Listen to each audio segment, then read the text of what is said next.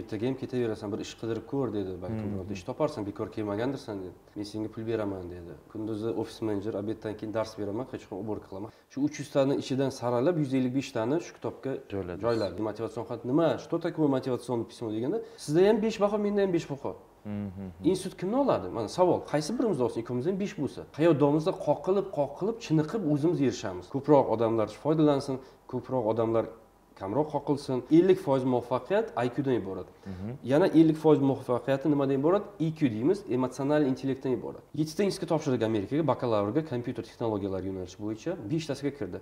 Bittasi to'qson besh foiz skidka berdi. Yiliga bor yo'g'i bir yarim ming dollar kontrakt to'laydi. Chet elda o'qish degani bu e, zo'r ta'lim olish deganimi?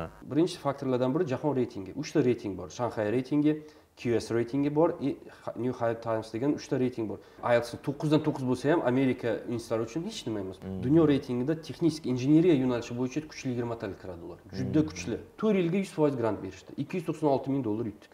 Uch yuz yigirma ming dollar grant yutdik to'rt yilga. Nyu york universitetini abu dabi filialiga yuz foiz grantni o'qishga kirdi. Men geniyman degan gaplar kerak emas chet elga. Dunyo reytingida yuztalikka kiradi lekin stomatologiya fakulteti dunyo reytingida ikkinchi o'rinda turadi. Stolga qo'yib berish kerakda uni qo'yib berish uchun u odam o'zi bilishi kerakda. Bilishi kerak va shu yo'nalishda shu yo'llarda o'tgan bo'lishi kerak qadam bosib. Lekin aksariyati o'tmagan. Firibgarlik juda yam ko'payib ketgan. O'nta gap aytishadi sakkiztasi yolg'on ikkitasi to'g'ri bo'ladi. To'g'risi ham bor ichida. Ular hammasi yaxshi mutaxassis bo'lib keladi o'zbekistonga ishlayotgan yaxshi zo'r olib borayotgan paytda hammasini qatorga qilib tashlaydi. O'sha haqida kitob yozilganda keyin biz o'rganib chiqdik hozir o'zbekistonni o'zidan chet elga o'qish uchun ketayotgan besh teri yetti ming odam bor hozir. Yiliga. Yiliga. Mana shu yilda mana shu ikki ming yigirmanchi yilda statistikasiga ko'ra bir yarim millionta abituriyent bor ekanda o'zbekistonda bir yarim million abituriyent bu juda yam katta ko'rsatkich. Ularni biz hozir bir yuz yigirma mingtasini o'zbekistonni o'zidagi vuzlar qabul qilib o'qitdi. Bor yo'g'i. bor yo'g'i bu degani bir million uch yuz talabgor borda bizada. O'qiyman degan. Talaba maktabni bitiradida xohlagan toshkent o'zbekiston institutiga kiradi.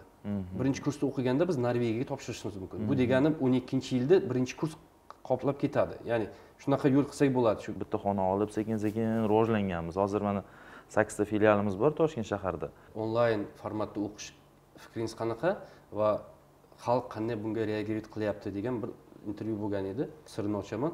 Juda kuchli mutaxassislar bor. O'n yil umrim ketdi shu ustida ishlab. Chunki bu narsa bir yilda emasda bu besh karra besh emasda yigirma besh emas. Buni ustida ishlab ishlab qo'lni keltirish kerak O'tkazib yuboradi. o'tkazib yuboradi tashlab yuboradi chunki shablon narsa plagiat narsasi chet elda juda katta narsa bu.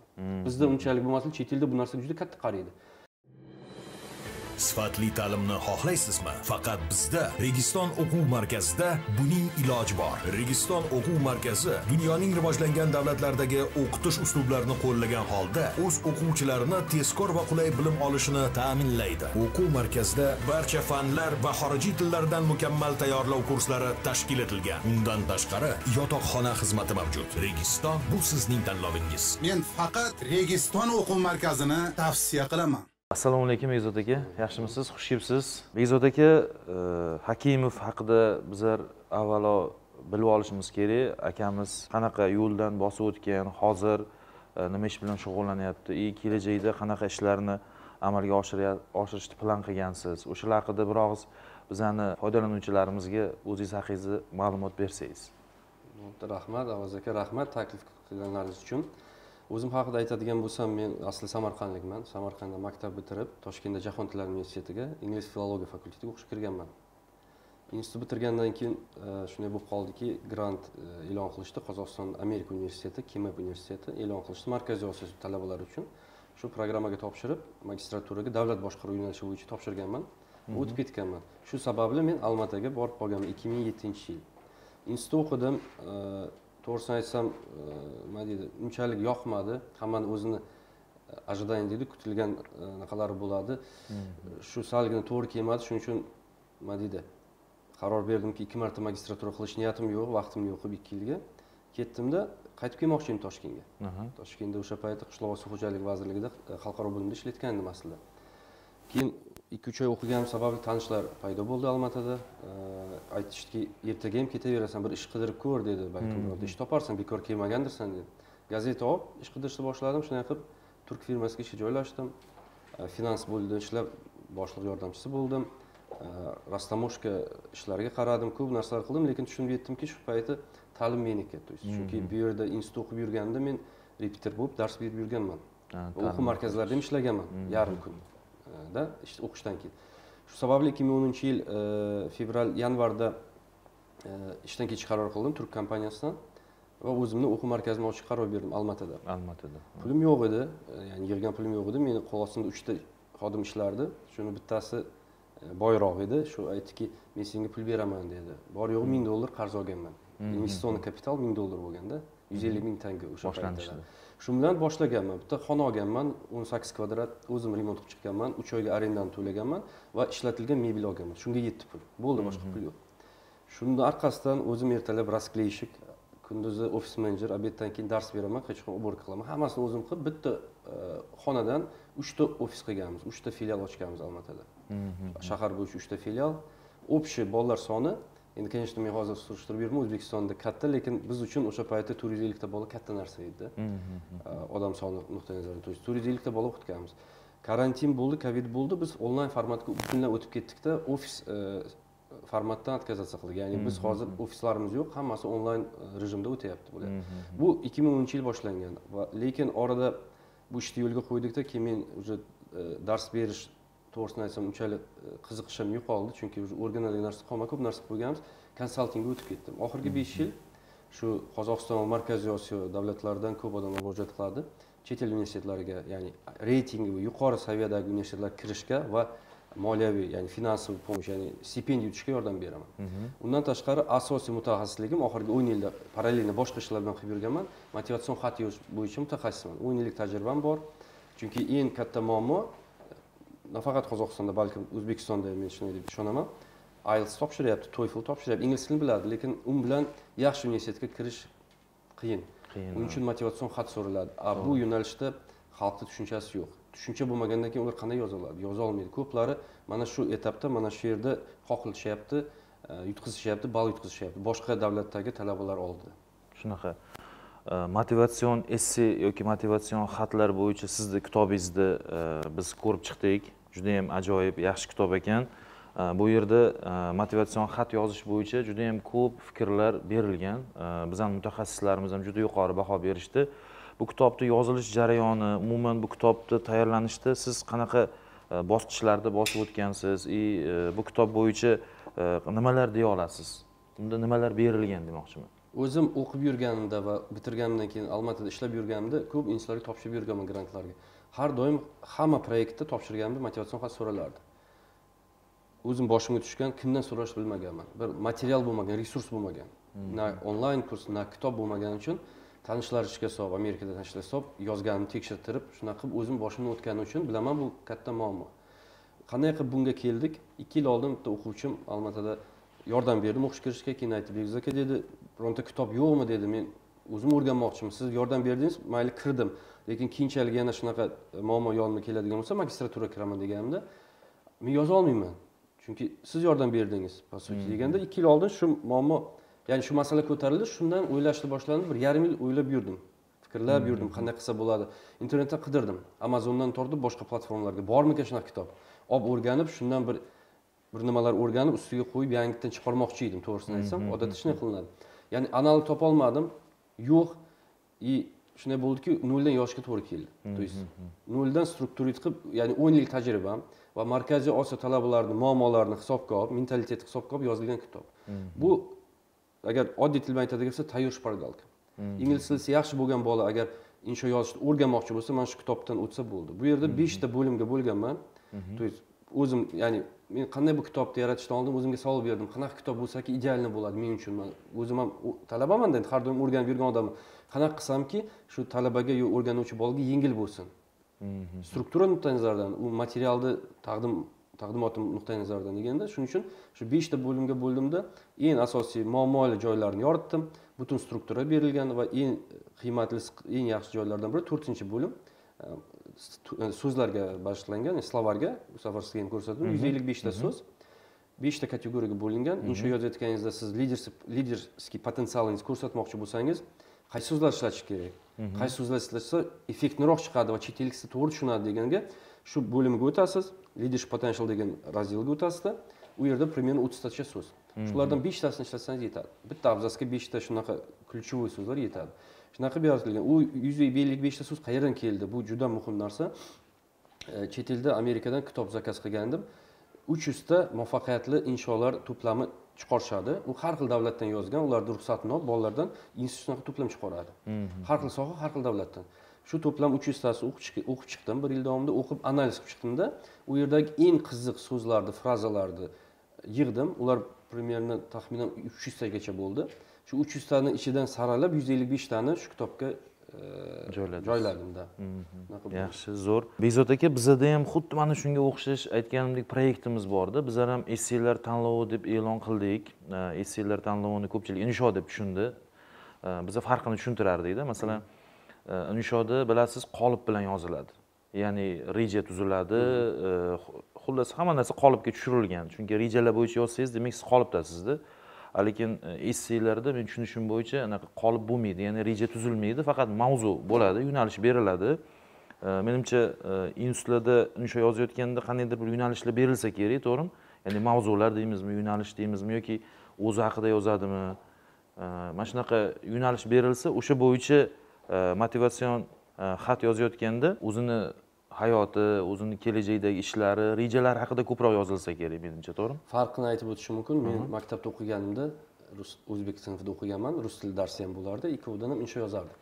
Yoqtirmardim yozishga. Bahomni olardim beshta lekin o'zim majburlab yozardimda. Bunaqa holatdan keyin qanday qilib men inshoga qaytib kelganimni tushuntirib o'taman. Siz aytgan savol to'g'ri. Maktablarda institutlarda kollejlarda berilgan insho bilan buni farqi bitta katta farqi bor eng asosiy farqi.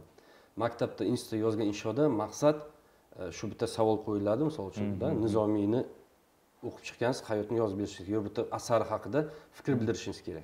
Tushunyapsizmi u yerda shu konkretно bitta savolga o'zingizni e, munosabatingizni yo bilimingizni ko'rsatib berishingiz kerak. Bo'ldi shu asosda yozma ravishda. Motivatsion xatni maqsadi bitta. Mendan kelib so'rashadi ko'plar birinchi marta e, shunga duch kelganlar aytadi nima o'zi bu? deydi motivatsion xat nima? Что такое мотивационное письмо? deganda oddiy lo'nda qilib javob beraman это возможность продать себя. То есть bu xat bilan bir betli narsa bilan siz o'zingizni sotishingiz kerak. Kimga? Chet el institutiga chunki butun dunyodan odamlar topshiradi. Nimaga sizni o'zbekni olish kerak? Xitoylik turibdi hindistonlik turibdi pokistonlik turibdi yapon turibdi yaponiyalik nimaga sizni olish kerak? Nimaga meni olish kerak? degan savolga javob berishingiz kerak. Men zo'rman men a'lochiman desangiz bo'lmaydi. Topshirayotganlar aksariyatini danlari yaxshi a'lochilar topshiradi yaxshi institutlarga to'g'rimi? Yoki stipendiya yutishga da'vogarlarni aksariyati hammasi a'lochi bo'ladi sizda ham besh baho menda ham besh baho institut kimni oladi mana savol qaysi birimiz olsin ikkovimizda ham besh bo'lsa shunda insho qaraladi inshoda siz shunaqa qilib yoritib berishingiz kerak o'zingiz haqingizda ko'proq gapirishingiz kerak a maktab institut insholarda o'zingiz haqingizda emas bir konkretno bir mavzuga yo kitobga yo bir odamga shaxsga munosabat bildirasiz shunaqa farq shunda bu yerda o'zini sota bilish kerak biz hayotda o'zimizni ko'p sotmaymiz. Uch holatda sotamiz lekin men master klasslarimda aytib o'taman. Qaysi holatlar deydigan bo'lsak birinchi holat ishga joylashayotganda job intervyu deydi e, suhbatdan o'tish hmm. kerak. U yerda ham siz o'zingizni potensialni достойный deydiyu kandidat sifatida ko'rsatishingiz kerak. Shunaqa bu bir. Ikkinchisi qaysi holatda? Hamma vaqt keladi institut bitiradi vaqt kelganda uylanadi erga tegadi. Uchrashuvga chiqasizmi? Mana men hmm. chiqqanman chiqqanimda e, menga shu qiz bola yoqib qoldi. Hmm. lekin men ishonchim komil emaski men unga yoqib qoldim bilmaymanku sir boy bermaydiku hamma to'g'rimi men hamma narsa qilamanki maksimalniy gul olib beraman restoranga chaqiraman podarka beraman shu meni ham yoqtirib qolish uchun bu ham o'zingiz sotyapsiz shunaqa как potensialniy er yo ota sifatida sotyapsizda shu qiz bolaga uchinchi holat chet el institutiga topshirganda chet el universitetiga topshirayotganda ham xuddi shunaqa holat faqat u yerda уже akademический holatda shu insho tavsiyanoma baholaringiz orqali o'zingizni sotishingiz kerak shu приемный комиссия qabul komissiyasida o'tirganlar aytishi kerak. Давай mana shu bekzodni olaylik insonlik qo'yib tur deyish kerak. Shunaqa. U baholar bilan bitmaydi u insholar bilan bitadi. Eng katta muammo uchta holatda aytdim hozir. Uchta holatda biz o'tamiz. Lekin shu uchta holatga bizni hech kim tayyorlamaydida bironta programma bormi mana ko'rayotganlar aytishi mumkin? Kurs programma bog'chadan tortib maktabgacha bormi shunaqa bir mutaxassis yo'q bunga biz hayot davomida qoqilib qoqilib chiniqib o'zimiz erishamiz. Shunaqa. Va shunaqa bo'lgandan keyin vaqt yutqazamiz orada fursat yutqazamiz. Ikkinchidan hamma ham qoqilib qoqilib odam bo'lmaydida hayotda har xil holat bo'lishi mumkin. Yiqilib qolib ketishi shuni hisobga olgan holda bu katta muammo dolzarb bo'lgan holat uchun men shu yo'nalishga kirdim. Узкий yo'nalish plus kitob yozishga qaror berdim. Sababi men bir o'zim aytaylik o'ttiz to'rt million aholi bo'ladigan bo'lsa aytaylik shundan ikki million chet elga o'qiyman desa ikki millionga yordam berolmayman bitta o'zim men kuchim yetmaydi xohlasam ham shuni hisobga olgan holda mana shunaqa kitoblar kurslar yaratib ko'proq odamlar foydalansin ko'proq odamlar kamroq qoqilsin tezroq tushunsin umuman tushuncha paydo bo'lsin degan maqsadda bu kitob chiqqan shunaqa shunaqa. Motivatsion e, xat bo'yicha mana chet elga universitetlarga borish haqida aytdingizu ularda hammasida ham motivatsion esse so'ralmaydi.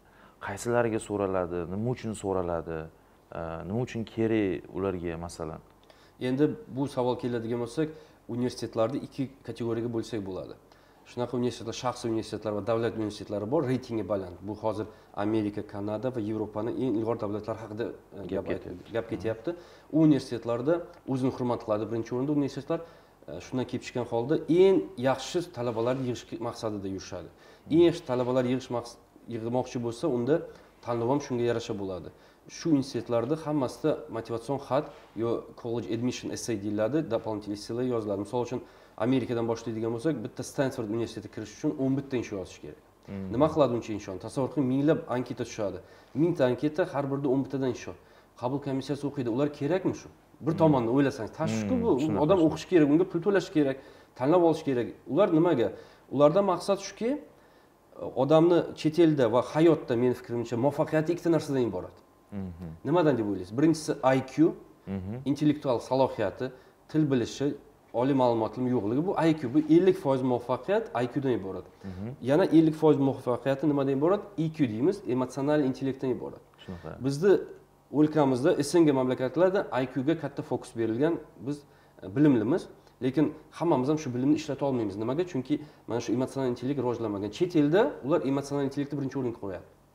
Aqllar ko'p deydi. Bizga deydi lider kerak bizga deydi shunaqa mahkam odamlar kerak deydi shuning uchun insho orqali u sizni tavsiyanoma va insholar orqali sizni emotsional intellektingizni tekshiradi.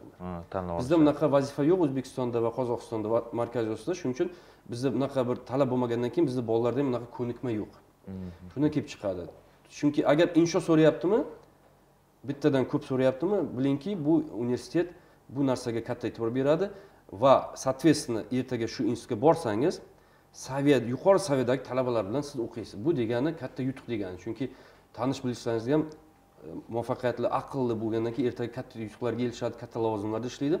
Bu sizda network deyiladi tanish bilishchilik. Bu katta narsa.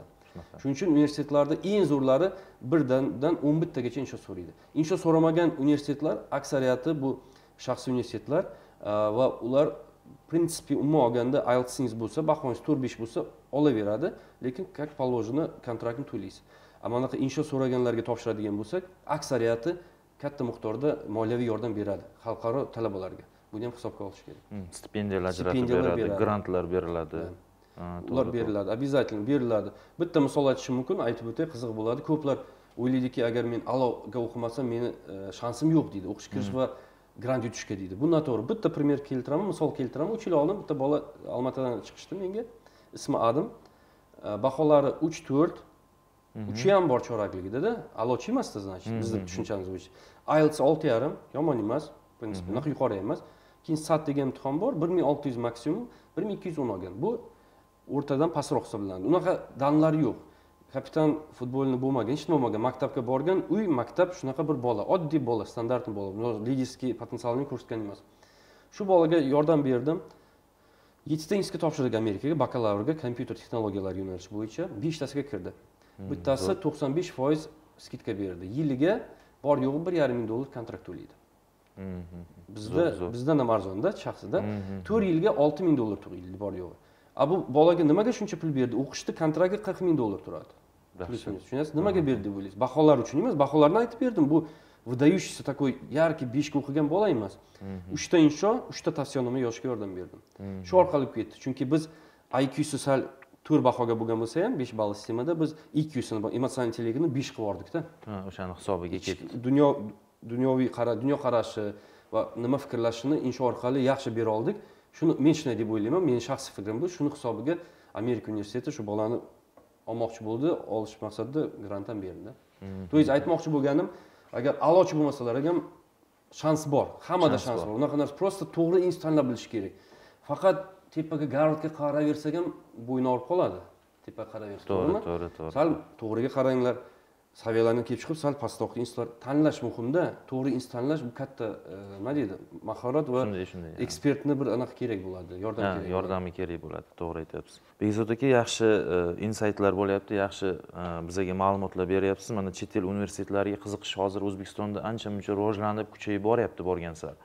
Ko'pchilik shu institutlarni aytganingizdek tanlashda xato qilib qo'yyapti. Ya'ni e, ko'p pulini e, bekorga sarflayapti desa ham bo'ladi. Chunki biza uchun e, chet elda o'qiyapti degani bu zo'r ta'lim beradi degan gapga teng bo'lib qolgandekda xayolimizda.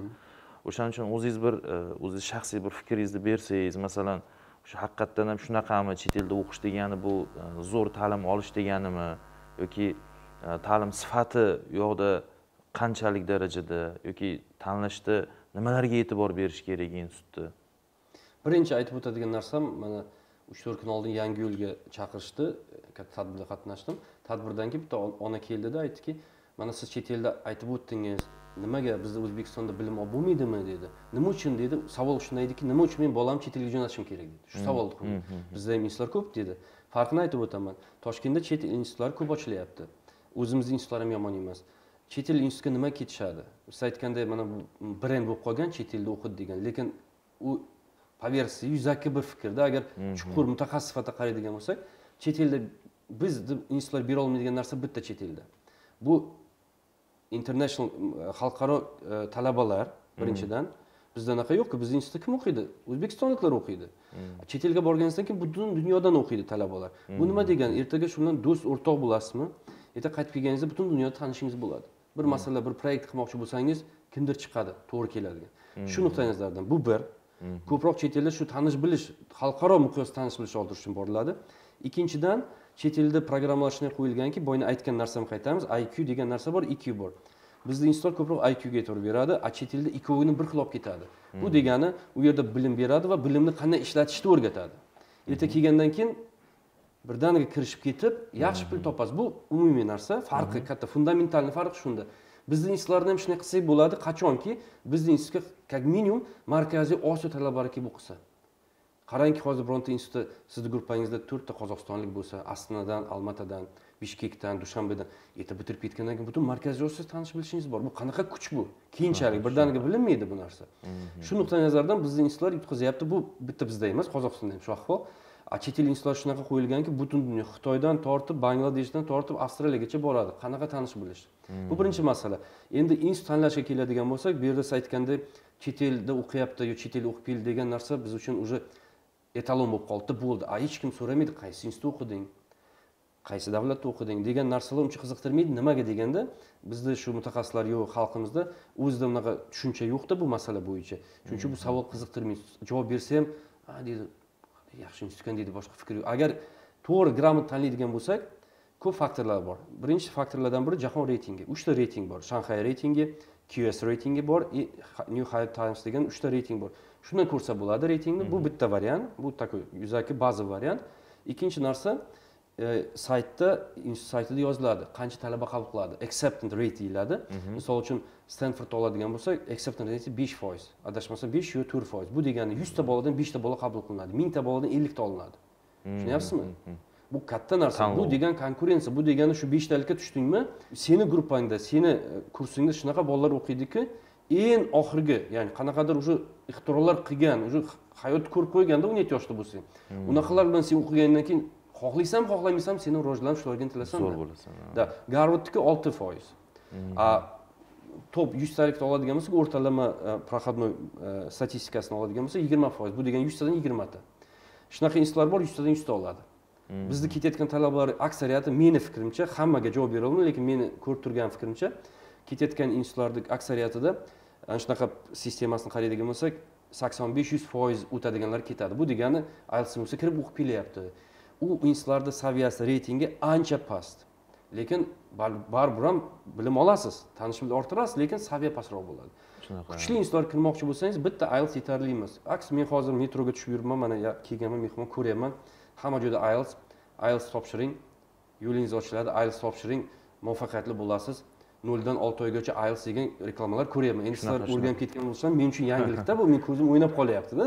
Ko'rib fikr bildirib o'tyapman. O'zim ielts mutaxassisiman o'n yil ielts darsini berganman. Yetti marta topshirganman o'n ikki yil ichida. Men o'ylaymanki unaqalar kam. Unchalik ambitsiozni yetti marta topshirmaydi odam degan. Shunaqa. men shunchalik ambitsiozni bo'lganmanki yetti marta ya'ni tushuncham bor. Bu kuxnyani ichidan bilaman. Da shu ma'noda ko'ryapman ko'p joyda shunaqa propaganda bo'lyapti. Ieltsing bo'lsa bo'ldi ish bitdi degan. Noto'g'ri tushuncha ieltsing bo'lsa ishing bitdi lekin past saviyadagi institutlarga ketasan. Angliyaga to'g'ri angliya universitetiga misol uchun topshirib misol uchun kembrij oksford yo warwick imperial college of london shu kuchli o'ntalikda oladigan bo'lsak uh, university college of london u yerga ielts o'zi yetarli yuqori ball keldi lekin inshosi kira olmaysiz u yoqqa amerika kanada universitetlarini oladigan bo'lsak top o'ntalikni qarasangiz dunyo reytingida top o'ntalik dunyoda shuni yettitasi amerikada joylashganda bu ham katta bir pища для размышлений deydi oziqa o'ylashga. Ya'ni nimagaki dunyoda qancha institut bor? Nimaga kuchli o'ntalikni yettitasi amerika olib ketyapti. Qolgan uchtasi oksford mana bunaqa eng ilg'orlarda a boshqa davlatlar germaniya avstraliyalar pastroqda ya'ni ular ham zo'r lekin pastroqda. Shuning uchun meni klientlarimni oladigan bo'lsak aksariyati amerikaga topshiraman deb keladiganlar. Amerikaga bitta ieltsdan kira olmaysiz. Ya'ni ielts to'qqizdan to'qqiz bo'lsa ham amerika institutlari uchun hech nima emas. Bu просто sizni tilni bilish haqingizda. Qanaqa odamligingizni bu baho men to'qqiz oldim desangiz hozir aytsam men to'qqiz oldim. Men qanaqa odamman desam biron kishi menga javob bera oladimi? Bitta gapni aytadi. Aqlli bola ekansan tilni yaxshi bilar ekansan deydi. Yo men qanaqa odamman? Yaxshi odammanmi? Yomon odammanmi? Sahiymanmi degan narsalarga javob bera olmaydida chet elda ham shunday narsa. Baho bu to'g'ri. Bu ingliz tilisi yaxshi bu o'qoladi E, bu qanaqa odam ekan o'zi? Degan savolga javob javob yo'q. Uni insho orqali ular o'qib tagiga yetishga harakat qiladi shuning uchun bitta emas beshta o'ntagacha insho so'raydi har xil mavzularda. Yaxshi yaxshi zo'r. Sizga o'zimizni strategiyamiz bo'yicha aytgandim mana e, o'shaning uchun ham siz bilan mana gaplashib e, xudo xohlasa bundan keyin hamkorlikda ishlaymiz degan rejalarni tuzib qo'ydik nasib bo'lsa. Chunki bizlarda ham e, bizani o'quv markazimiz abituriyentlar bilan ishlaydi. Aytganimdek faqat o'zbekistonniki yoki o'zbekistondagi chet el vuzlari emas butun dunyodagi e, vuzlarga ya'ni oliygohlarga biza tayyorlab berishni boshladik. Xudo xohlasa mana siz bilan ham o'shaning uchun e, suhbatlashib gaplashib nasib bo'lsa e, mana shu o'zbekistondagi o'zimizdagi abituriyentlarni e, butun dunyoga xudo xohlasa tayyorlab beramiz deb o'yladik. И keyin man siz bilan gaplashganimdan keyin yoki undan avval o'ylaganimda bildimki mana shu motivatsion xatlar biz mana o'zbek o'zbeklarni auditoriyasidan kelib chiqib aytyapmanda bizada. Asosan e, mana test bo'ladi. Bizani oliygohlarda e, keyin o'zbekistondagi chet el vuzlarini filiallarida matematika qo'shilgan imtihon uchun kirishga E, lekin e, mana chet elda yaxshi ta'lim beradigan dargohlarga tushunishim bo'yicha demak motivatsion xat bu kirishga tayyorgarlikka o'xshar ekanda men tushunishim bo'yicha. bu ham bizani tayyorgarlik. anaqamizda. Nimaga mana qozog'istonda kelishadi? Qozog'istondan aytay keladi e, telefon qilishadi. Ota onam men deydi mana topshiryapti gonkong universitetlari juda mashhur aytmoqchi aytib o'tishim mumkin. Bilmadim o'zbekistonda qanday. Gonkongda juda kuchli yaxshi grant beradigan beshta oltita institut bor. Dunyo reytingida texnik injeneriya yo'nalishi bo'yicha kuchli yigirmataga kiradi ular. Juda kuchli. Gonkong qozog'istondan ko'p topshiradi chunki grant beradi. Yuz foiz grantlari ko'p. Biz ham o'zbeklarga shuni yordam qilishimiz mumkin. Ya'ni keladida ieltsi bor baholari zo'r lekin topshirayotganda deydi inshoga duch keldik deydi. Yordam bera olasizmi deydi telefonda aytyapti. Men aytaman da yordam beraman necha kun qoldi topshirishga? deyman. Uch kun qoldi deydi. Men aytaman "A, qayerda yuruvdilaring shuncha kun uch kunda yaxshi insho yozilmaydi desam bizni xabarimiz yo'q edi insho kerakligi anketani to'ldirayotganda duch keldik beshinchi sahifasida deydida. Uch kunda yozilmaydida insho tushunyapsizmi? То есть hamma narsa tayyor. Aytmoqchi bo'lgan narsam u yerda ham biladi ielts kerakligini bizdagilar точно biladi aniq biladiki ielts hech ketib bo'lmaydi. Lekin to'qson to'qqiz nuqta to'qqiz foiz xalq bilmaydiki insho kerakligini. Bu keyin ieltsga olti oylab shug'ullanasiz tayyorlanib topshirayotganda aytadi keyin konsalting kompaniya aytadi ukam deydi falonchi deydi bitta insho olib ket deydi. Qotib qoladi bu. Necha kun bor aka? desa bir hafta vaqting qoldi deydi. "A, bu bola hayotda ko'rmagan. U qanday yozishi mumkin bu? Tushunyapsizmi? Bu ham bir mahorat. O'zini qog'oz orqali sota bilish bu katta mahorat to'g'ri to'g'ri. To'g'rimi? Mana shu inshoga qarab demak grantlar ajratilishi pul Ha, pul hammasi o'shanga bog'liq. insho orqali? Agar stipendiya grant pul yutmoqchisizmi insho orqali yutiladi. Hmm. kirishga inshosiz kirish mumkin aks ayrim universitetlarga. Lekin pul yutmoqchisan menga grant ber moliyaviy yordam ber degan masala ko'tariladigan bo'lsa hammasidan mana meni tajribamga kelib chiqib qolyapti.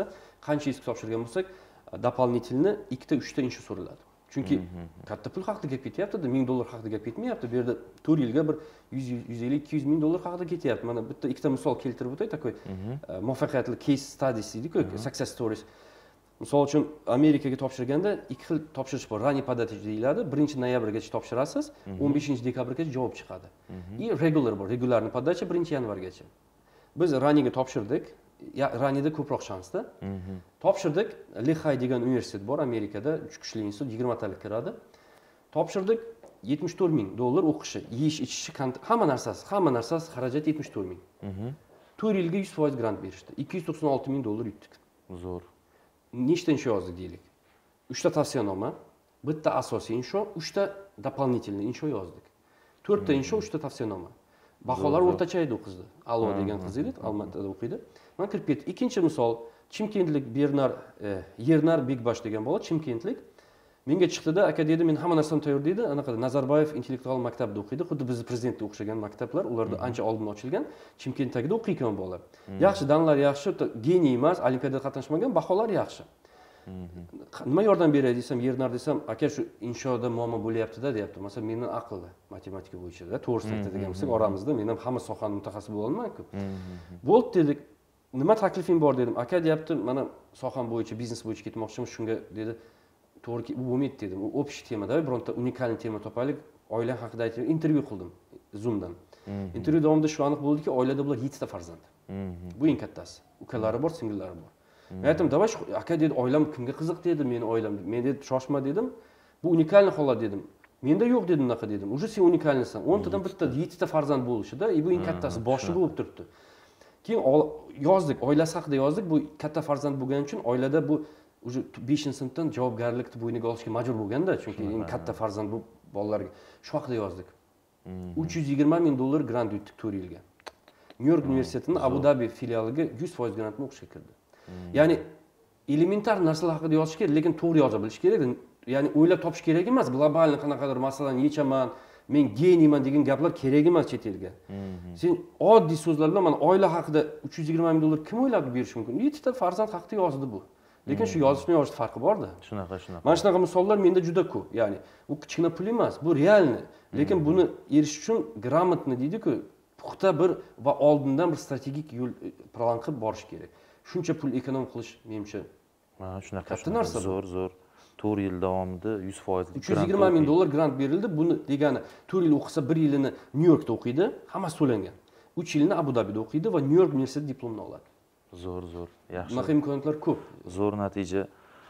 Bizda э, mana konsalting firmalari asosan bu ish bilan shug'ullanadi. Mana siz hozir eshitib turdimda o'sha narsani bir anglab oldim o'zim uchun. Chunki bizada ham konsalting firmalar juda ko'p mana bizada chet elda o'qimoqchi bo'lganlar ko'pi э, kelishadida ulardan maslahat olishadi. Lekin ko'pchiligi maslahatni aytganingizdek o'sha sakson besh yuzta oladiganlarida ular tavsiya qiladida hech biri kirishi misol uchun u yerda o'qishi qiyin bo'lganlarini tavsiya qilmaydida. Ya'ni e, aytmoqchi bo'lganim mana shu o'zbek auditoriyasiga bizani ko'ruvchilarga ham shu narsani tavsiya qilib qo'ysangiz mana konsaltingga borib keyin qanaqa konsalting olishga konsaltingchini mutaxassis oldiga borganda qanaqa savol berish kerak? Yoki men o'zim o'ylashim bo'yicha borib men o'qishga chet elga ketmoqchiman emas qandaydir bir institut tanlab o'sha institutga e, qanaqa hujjatlar tayyorlanishi kerak yoki nimalar etaplari bor o'shalar haqida ham gapirib bersangiz zo'r bo'lardi lekin. Men birinchi o'rinda agar men misol uchun mana meni farzandlarim bor katta bo'lyapti xudo xohlasa o'zim yordam beraman. Agar men shu sohada ishlamaganimlik tushuncham bo'lganda konsalting kompaniyasiga borganimda tayyorlanib borardim albatta. Chunki odam borayotganda bilishi kerakda qaysi davlat как minimum qaysi davlatga topshirmoqchiliginida хотя бы. Chunki borib men chet elga o'qiyman desangiz qozog'iston ham chet el. Shunaqa. To'g'rimi? Bu qiyin bo'ladida. Ya'ni kelganlar aksariyati men keladiganlar qozog'istonda aytishadiki men amerikaga bolam bakalavrga o'qishga kirishga yordam ber deydi. Konkretно vazifa qo'yilgan ba'zilari institut bilan keladi ba'zilari aytadi o'zing menga подборка qilib ber deydi. Lekin talab qo'yadi настройка deyiladi. Talabda shunaqa shartlari bor institutda chet el studentlariga grant berilish yozilgan bo'lishi kerak. Обязательно shu- shunaqa joylar bor o'qib chiqish kerak. Ba'zi institutlar bor kuchli institutlar kirasiz lekin chet el universitet talabalariga grant yo'qda berilmaydi. siyosatida ustavida yozilgan. U institutga kirgan nima foyda sizga ya'ni u narsani mutaxassis biladi. Shuning uchun men tavsiya qilaman borganda chet elda o'qimoqchiman mana bolamni o'qitmoqchiman. Aytaylik условно angliyada da angliyada. Menga shunaqa institutlar topib berki reytingi yaxshi bo'lsin va grant yutish ehtimoli bo'lsin. Ehtimoldan tashqari qancha maksimalni yutishimiz mumkin? O'qish o'ttiz ming dollar o'tirib granti uch ming dollar bo'lsa sizga bu qiziq emas. Shunaqa. Ya'ni vesi yo'qda kamida yarmini shunaqa qilib подборка qilib ber и plus reytingi kerak. Har bir institutni общий reytingi bor umumiy reytingi bor va har bir institutni fakultetlarni reytingi bor. Misol uchun misol qilib aytadigan bo'lsam gonkong universiteti dunyo reytingida yuztalikka kiradi. Lekin stomatologiya fakulteti dunyo reytingida ikkinchi o'rinda turadi. Bu katta farq narsada Shunaqa, shunaqa, dunyo reytingida gonkongda tish doktori bo'laman desangiz gonkongga borgan yaxshida. Birinchidan o'n yetti ming dollar qimmat emas granti ham bor. Ikkinchidan olti yetti soat masofa uzoq emas.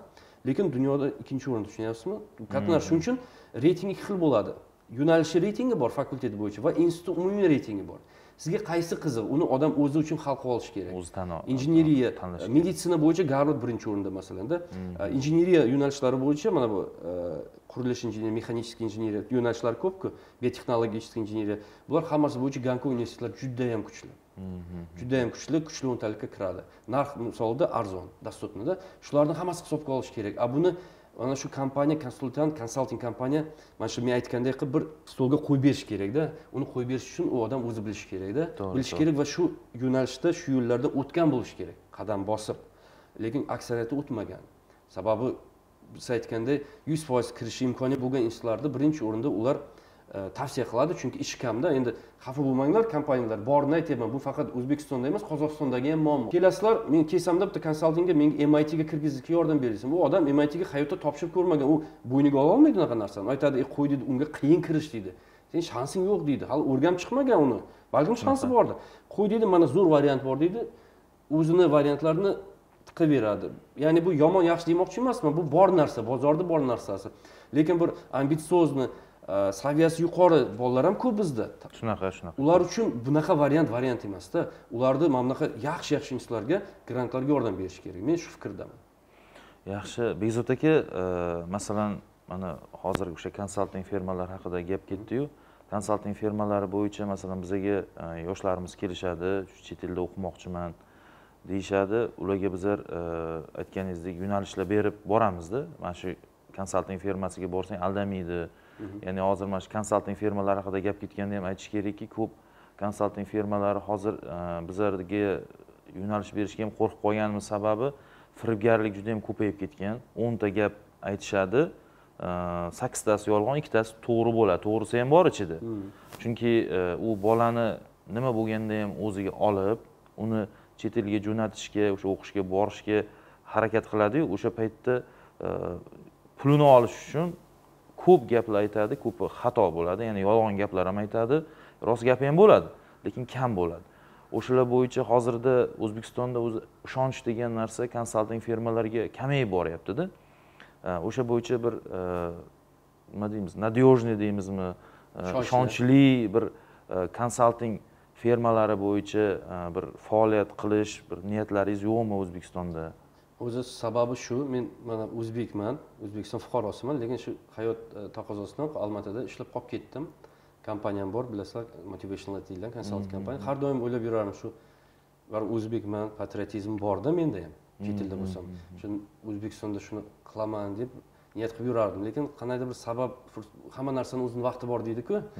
Shu vaqt kelmagan ekan. Mana hozir lekin mana siz bilan tanishdik общий tushunchamiz bitta joydan chiqyapti va sizni potensialingiz bor. Men endi misol uchun mutaxassis sifatida chet elda yuribman. Meni bu yerda ofisim anaqam yo'q birga ishlashimiz mumkin niyatim bor va shu sabab bilan kelganman aslida. Chunki o'zbekistonda ham juda saviyasi yuqori e, nima deydi talantli bolalar ko'p. Ko'p lekin ularga men aytgan saviyada men aytgan saviyadagi universitetlarga kirgizib bera oladigan konsalting kompaniyalarni men shaxsan bilmayman. Bu yo'q degani emas men shaxsan bilmayman. Men ham bozorni o'zbekiston bozorini kuzatib yuraman balkim bordir. Balkim bordiru unchalik mashhur emasdir hali. Uni shuning uchun yo'q deyish ham noto'g'ri bo'ladida kattada bozor. Shuning uchun unaqa nima deydi xulosalar qilish noto'g'ri. Lekin mana kirib keldim men xudoga shukur. Endi saytni qilyapmiz birga ishlaymiz. Maqsadim meni almatada ham nimaga menga klientlar ko'p keladi? Sababi meni maqsadim faqat o'qishga kirgizish emas meni maqsadim shu bolani ketishi. Qachon ketadiki qachonki moliyaviy masalasini hal qilsa. Shuning uchun biz topshirgan men o'nta institutdan to'qqiztasini topshiramanku ba'zilar bor boylar keladi aytadiki menga deydi pul muammo emas lekin shuncha pul to'lamoqchimanmi? Katta institut yaxshi institutga yordam ber deydi. U bir foiz odamlar. To'qson to'qqiz foizi keladiki pulim bor kamroq yoki pulim yo'q mana bolam lekin juda aqlli menga shu yordam ber deydi. Grant yutishga yordam ber deydi. Men keladiganlar aksariyati grant e, yutishga niyat qilganlar keladi lekin baholari ham zo'rda. Ularga yordam beraman. Shuning uchun qozog'istonda hozir meni nomim ichidan chiqyaptiki stipendiya stipendiya yutish bo'yicha mutaxassis degan nom chiqib ketdi уже. Chunki bu katta narsa bu yerda katta narsa bor. И mana aytib o'tdim keyslar misollar keltiryapman. Har yili bunaqa misollar ko'p. Shuning uchun odamlar menga keladi. Nimaga? Sababiki hamma boymi kambag'almi pulni ekonom qilmoqchida bu normalniy holat. Shunday shunday shu nuqtai nazardan biz ishlaydigan bo'lsak bizni formatimiz bizni tushunchamiz va siyosatimiz ish yuritishda yuzda yuzda sakson foiz gradusda ajraladi. Nima ma'nodaki? Biz faqat o'qishga kirgizishimiz emas bizni maqsadimiz maksimalni moliyaviy yordam chiqarib olish. Yo institutdan yo ayrim e, e, nima deydi mustaqil fondlardan chet ellik yoki hukumatdan. Uchta to'rtta e, Yo'nalishda. kanallar bor shu yo'nalishlarda bu chiqarishga yordam beraman. То есть faqat o'qishga kirgizish emas topoviy universitetlar va umuman olganda xohlagan institutga maksimalni pul yutib berib shu klientimizni cho'ntagiga ekonom qilib pulni yo вообще tekinga qilib berib shu maqsadda ish qilmoqchiman. Faqat oddiy konsalting emas ko'proq shu muhtoj sharoiti yo'qlar lekin yaxshi o'qigan bolalarga yordam berish. Zo'r zo'r. Hozir mana gaplaringizni eshitib bitta narsa esimga tushib qoldida. Yaqinda e, bizlar asaxiy books loyihasidagi feruza allayev bilan yaqinmizda. Ular bitta kitob chiqardi qo'rqma degan kitob chiqardi. Agar e, o'sha kitobni xudo xohlasa agar o'zimda bo'lsa sizga sovg'a qilaman. Sababi u kitobda yigirmanchi yillarda bizada buxoro haqida buxoro respublikasi bo'lgan o'sha yerda fitrat degan inson yashagan. Ular qancha ikki yuztami adashmasam shuncha o'zbekni germaniyaga o'qishga jo'natadida ular chet elga o'qishga jo'natadi. O'sha paytda yigirmanchi yigirma birinchi yillarda. Ular hammasi yaxshi mutaxassis bo'lib keladi o'zbekistonga ishlayotgan yaxshi zo'r olib borayotgan paytda hammasini qatorga qilib tashlaydi o'sha haqida kitob yozilganda qo'rqma degan nomni tanlashini ham sababi u yerda yuz yil oldin haqida. Hozirgi paytdagi muammolar juda ko'p ochib berilganda hozirgi o'zbeklarga aytyaptiki qo'rqmanglar endi deyaptida. Endi qo'rqmanglar u davr o'tib ketdi endi chetga chiqinglar chetga o'qinglar degan qarash borda keyin biz o'rganib chiqdik. Hozir o'zbekistonni o'zidan chet elga o'qish uchun ketayotgan besh teri yetti ming odam bor hozir. Yiliga. Yiliga. Har yili besh yetti ming o'quvchi abituriyent chet elga o'qish uchun chiqyapti xuddi shuncha odam e, bakalavrdan e, endi hammasimiz biza o'ylashimiz bo'yicha ikki ming ikki yarim ming odam qaytib kelyapti o'zbekistonga. Bir ikki ming ikki yarim ming qolib ketyapti. Ya'ni o'sha yerda joylashib ellik foizga ellik foiz to'g'ri kelyapti ekanda bizani. Statistikamiz endi aniq emasu lekin o'zimizni kuzatishlarimiz natijasi. Asosiysi bu yerda biza qarashimiz kerak bo'lgan narsa besh ming yetti ming odam chet elga o'qishga ketyapti. Lekin aksariyati puli bor sharoiti bor. Chet elda o'ziga yarasha quvvati yetadi u yerda yashashga o'qishga. Hozir mana siz bilan biza gaplashib turib shu narsani bildikki demak o'qishga harakati bor intilishi kuchli lekin yo'lini bilmaydi qanday qilib ketishni qanday qilib grant olishni yo'lini bilmaydi. Ularga ham qanaqadir biza yordam bera olishimiz mumkin ekan demoqchimanda. Albatta albatta. Men shu maqsadda o'zi nima qilaman menga chunki siz aytayotgan kategoriya odamlar ko'proq. To'g'rimi? Nu- son nuqtai nazaridan qaraydigan bo'lsak mana shu kategoriyada aksariyat shu kategoriyaga tegishli. Boy o'zi qurib yetadiganlar protsent nuqtai nazaridan o'n foiz yigirma foiz bo'lishi mumkinda umuman olganda. Aksariyati yaxshi o'qiydi o'rtacha oila qurib yetadi o'qishga yetadi lekin kontrakt to'lash qurib yetmaydi. Lekin zo'r o'qib yurgan толковый deymiz shunaqa bolalar. Ularga ham kimdir imkoniyat berish kerak. Shunaqa shunaqa. Ya'ni shuni nimaga o'qidi? Ya'ni ko'rsatib berishimiz kerak. Shu mana o'qiganni mevasi mana shu deb ko'rsatib bersak ertaga u boradida undan ham yaxshi o'qib va o'zbekiston talabasi imijini yaxshilab keladi. Yaxshilab keladi yaxshi talabalar borsada ko'plari bilmagandan keyin ketolmay o'zimizni institutlarga kiryapti. Bu ham yomon emas lekin undan ham yaxshi variantlar borda hayotda. Lekin u siz aytgandek odam bilmagani uchun e, shu ekanda deb hayot davom ettiryaptida. Shunisi. ularga yo'lni ko'rsatish kerak. Shunaqa shunaqa. Yo'l ko'rsatsa yaxshi. Qarang hozir bizada mana shu yilda mana shu ikki ming yigirmanchi yilda statistikasiga ko'ra bir yarim millionta abituriyent bor ekanda o'zbekistonda bir yarim million abituriyent bu juda yam katta ko'rsatkich. Ularni biz hozir bir yuz yigirma mingtasini o'zbekistonni o'zidagi vuzlar qabul qilib o'qitdi. Bor yo'g'i. bor yo'g'i bu degani bir million uch yuz talabgor borda bizada o'qiyman degan. Ularni masalan juda yam katta armiya desa ham bo'ladida buni butun dunyoda endi faqat o'zbekiston emas u butun dunyoda masalan institutlar qanaqa ko'p e, aytganingizdek ko'pi grant beradiganlari ko'p. Mana masalan o'zingiz aytdingizki hozir gaplashib turganimizda e, mana gretsiyada Hada gretsiyada chet el e, talabalari uchun o'qish tekin va yotoqxona tekin. Norvegiyada chet el talabalari uchun o'qish tekin. Ya'ni unaqa davlatlar ko'p ko'plar bilmaydida.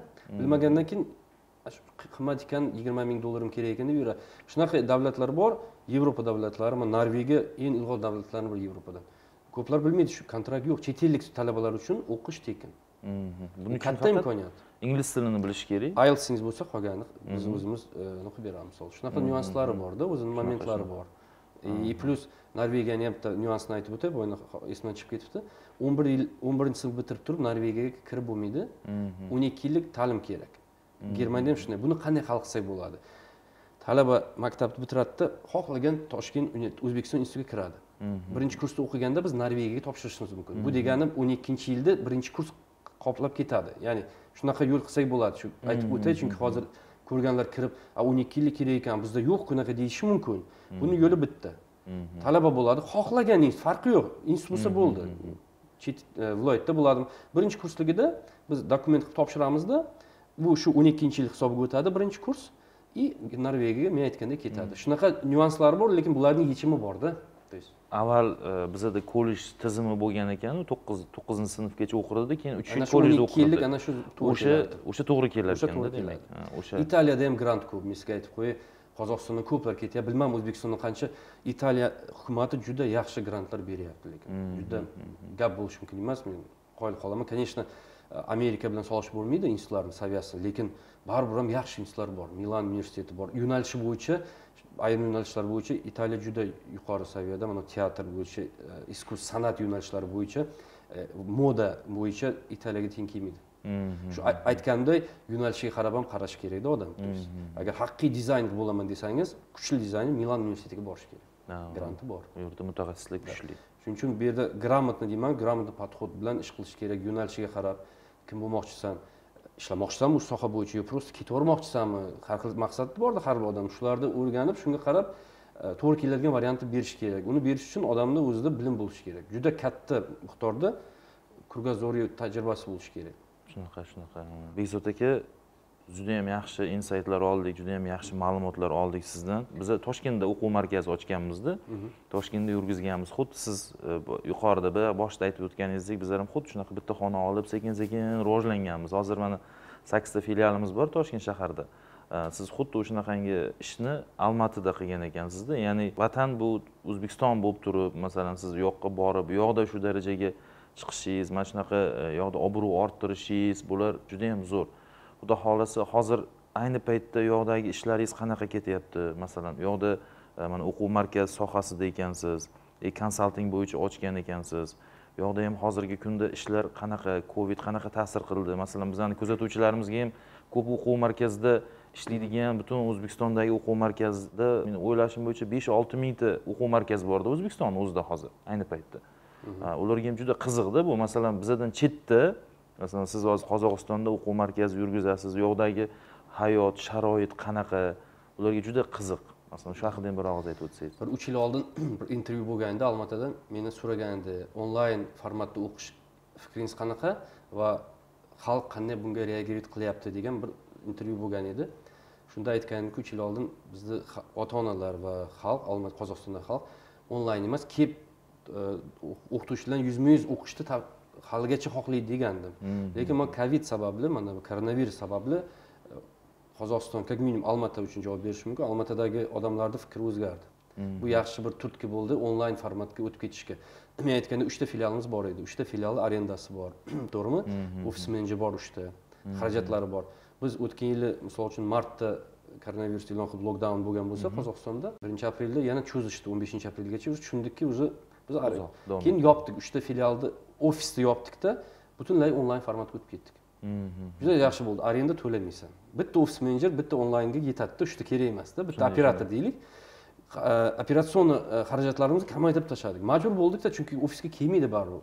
Iyulgacha yopiq edi hamma narsa yopdikda mebellar hammasi sotib yubordik to'g'risini shular nima qilasiz? Televizorlarni kserokopiyalar hammasi sotib oldikda. Ikkita juda kuchli ofis menejerni oldik. Tilda biladigan umuman yoshi katta bir kuchli mutaxassislar oldikda o'tkazib qo'ydik telefonga o'qituvchilarni связка qildik zoomdan akkaunt sotib oldik pulni yillikda tashkillashtirdik bir sakson sakson foiz klientlarimiz qoldi yigirma foizi ketdi. Ayrim sabablarga ko'ra ofis bilan bog'liq emas просто ko'p sabablarga ko'ra ketdi. Sakson foizni ushlab qoldik. Hozir shu formatda ish bo'lyapti. Ko'plarga ma'qul kelib ketish kerak emas u ham yo'l kira и vaqt. Zoomda hozir bemalol o'tyapti. Ya'ni mana bu covid mana shu e, e, formatga o'tishga katta turtki bo'ldi. Juda katta turtki. Shu bo'lmaganda hali ham xalq aytardi yo men kelib o'qiyman deb haligacha bor lekin tushuntirdik hamma. Xavfsizlik birinchi o'rinda sog'liq birinchi o'rinda biz e, onlayn formatga butunlay o'tib ketdik. И daromadga yutqazmadik Yuz foiz chunki klient kamaygan bilan ham расходimiz ham kamaydida bizni ofis arenda to'lamaymiz hammasi onlayn. Bitta zoomda arenda yiliga yuz dollarmi yuz ellik dollar to'laymiz bo'ldi. Ya'ni juda ma'qul. Shunaqa formatga o'tib ketdik. Ko'p meni tanishlarim bor shuncha yildan beri ishlab yuribman o'quv markazlari boshliqlari meni tanishim olmaotamizda ko'plari shunaqa onlayn formatga o'tdida lekin hozir sal yengil bo'lgani uchun offlayn ham o'tyapti lekin aksariyati onlaynda. Ya'ni men o'ylaymanki mana shu sabab endi keyinchalik уже odamlar unchalik nima deydi kaprizm deydi bo'lmaydi уже onlayn bo'lsa o'tib ketaveradi. Onlayn ham offlayn chunki onlaynni bitta katta plyusi shundan iboratki onlayn bo'lgandan keyin biz chet eldan ham mutaxassislar bemalol torta oldik offlayn bo'lsa Ki- kiyevdan ukrainadan olib kela olmaysiz. Ukrainada juda ko'p mutaxassislar bor juda kuchli lekin oyligi kam yo'q ishi yo'q biz shular bilan ishlaymiz hamkorlikda mana bitta sirini ochaman. Juda kuchli mutaxassislar bor. И onlayn bo'lgandan keyin уже muammo qolmadida ungacha butun dunyodan. un- да butun dunyodan ulaymiz ishni qilaveryapmiz hozir onlayn bo'lgandan keyin bizda kadrovый вопрос yo'q bo'ldi. То есть mutaxassis topish masalasi hal bo'lib ketdi. Bu bitta katta plyus konsalting keladigan bo'lsak men o'quv markazini mana o'ninchi yil ochgan bo'lsak yurg'izib berdimda topshirdim. Men u yerga aralashmayman. Bir katta muammo kelib chiqadigan bo'lsa konsultant sifatida kirishim mumkin. Men e, xo'jayinman lekin yurg'izadigan odam boshqa men konsalting ochib ish qilib boryapman konsalting yo'nalishiga keladigan bo'lsak almatani o'zida ikki yuzta agentство bor. Rasmiy ro'yxatdan olgan chet elga jo'natadigan ikki yuzta agentство bor. Agentство deyiladi firma deylik ikki yuzta.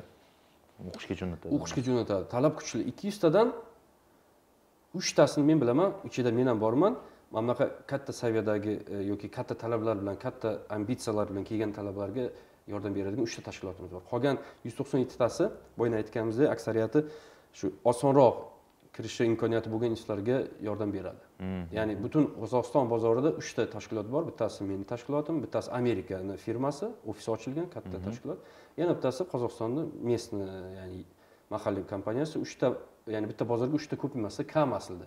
Nimaga shundayki chunki boya aytganimdek men insho yozishda o'n yilda keltirdim me'yoriga deydik o'n yil umrim ketdi shu ustida ishlab. Chunki bu narsa bir yilda emasda bu besh karra besh emasda yigirma besh emas buni ustida ishlab ishlab qo'lni keltirish kerak. Bu bir. Ikkinchidan javobgarlik. Kelgan bolaga men senga yozib beraman deb javobgarlikda bu. U bola pul to'laydi sen shunga javob berishing kerak. Qo'l ustida yoki internetdan shablondan ozib bergan narsang bu birinchidan yolg'on. Ba'zi e, talabalar buni tushunmay uzr zo'r ekan deb ketadi. Lekin sen bilib turibsanku nima qilganingni. Tushunyapsizmi odam o'zi birinchi o'zi to'g'ri bo'lishi kerakda o'zi uchun. Keyin boshqalarga ham to'g'ri bo'lishi kerak. Shu ma'noda menga toshkentda mana aytib o'taman kompaniyalar bilaman mana yaqinda bo'lgan voqea bitta ikkita klient chiqdida internetdan topganda instagramdan. Aka dedim qanchaga dedi? Ellik dollarga dedi besh yuz ming so'mga yozdirdim. "E, yordam berdi yozdirishimga dedi. Bir ko'rib bering dedi. Shuni tashladi menga. Ya pulni aytgani yo'q bitta ko'rib bering o'zim yozdim dedi. Hay dedim ko'rib berishni qarasam shu ikkita boshini o'qidim bo'ldida menga kerak emas boshqa shablon bu internetdan olingan shablon просто shablonni ichidagi ma'lumotlar u bolanikini kirgizib chiqilgan bo'ldi tushunyapsizmi men aytdim "U sen yozibsan bu shablonku dedim nima qilma desam aka men bunga besh yuz ming berdim deyapti keyin aytdida aytdi men bu pul berganman bunga deyapti men aytdim qanday pul berding dedim ellik dollar berding nimaga berding dedim aka zo'r yoz- yozilgan yomon emas dedim bu shablon plagiat bu ertaga normal institutga topshirsang seni O'tkazib yuboradi. tashlab yuboradi chunki shablon narsa plagiat narsasi chet elda juda katta narsa bu. Bizda unchalik bo'lmasa chet elda bu narsaga juda katta qaraydi keyin endi nima qilamiz dedi men aytdim "Men nima qilasan pulingni qaytarib olmaysiz ishini qilgan odam o'ziga yarasha. Agar men bilan ishlamoqchi bo'lsang noldan boshlaymiz dedim ya'ni aytmoqchimanki qaysidir konsalting kompaniyalari o'quv markazlari toshkentda ham shu narsani qilishga harakat qilyapti. Lekin muammo shundaki yengil yo'lni tanlashganda. Shuni shablonda olib ma'lumotlar kirgityapti и все u u bilan boya aytganimizdek yuz yuz kiradigan institutlarga u to'g'ri keladi. Ha, unga u o'xshab- insho bilan kuchli elliktalik kuchli yuztalik dunyo reytingida kuchli yuztalikka olaylik. Shu shablonda yozing o'tmaysiz. Men sizga to'qson to'qqiz foiz kafolat beraman. Bir foiz qoldiraman har holat bo'lishi mumkin to'qson to'qqiz foiz ishonchim komilki unaqa shablonoviy insho bilan siz grant yuta olmaysiz va yaxshi institutga kira olmaysiz. A bolalar ellik dollar yuz dollar berib mana shunaqa insholarni olib "A, zo'r ekan deb ketyapti. Chunki o'zi tushunmaydida tushunchasi yo'q. A, men mutaxassis sifatida ikkita gapini o'qidim bo'ldi. Men kerak emas qolgani menga to'g'ri tushunyapsizmi? muammo shunda bo'lyapti. Motivatsion xat bo'yicha e, mana ko'p narsalarni sizdan bilib oldik. Motivatsion xat bu insonni dunyoqarashini ochib berib aytganingizdek o'zini prezentatsiya qilish ekanda tushunishim bo'yicha. E, bu bo'yicha mana siz shuncha e, mehnat qilib yozibsiz. Men o'zimni fikrim bo'yicha insonni o'zi hozir mana bu kitobda qanaqa yozilsa qanaqa darajaga chiqadi qanaqa bo'ladi har bittasini bittadan maydalab detalniy tushuntirib bergansizda bunda. Men o'ylashim bo'yicha. O'sha narsani ko'rib chiqqanimizda o'zingiz namunalar beribsizu qanaqa o'tsa qanaqa bo'ladi qayerdan buni aniqlab olish mumkin? Ya'ni praktichniy kitob ekanda ya'ni amaliyotni o'ziga jamlab olgan kitob ekan. Siz bilan suhbatimiz uchun sizga kattakon rahmat. Sizga rahmat. Sog' bo'ling salomat bo'ling yaxshilikda uchrashaylik ko'rishaylik hamkorligimiz xudo xohlasa uzoqroq davom etsin. Rahmat. Sog' bo'ling salomat bo'ling sifatli ta'limni xohlaysizmi? Faqat bizda registon o'quv markazida buning iloji bor. Registon o'quv markazi dunyoning rivojlangan davlatlaridagi o'qitish uslublarini qo'llagan holda o'z o'quvchilarini tezkor va qulay bilim olishini ta'minlaydi. O'quv markazida barcha fanlar va xorijiy tillardan mukammal tayyorlov kurslari tashkil etilgan. Undan tashqari yotoqxona xizmati mavjud. Registon bu sizning tanlovingiz. Men faqat registon o'quv markazini tavsiya qilaman.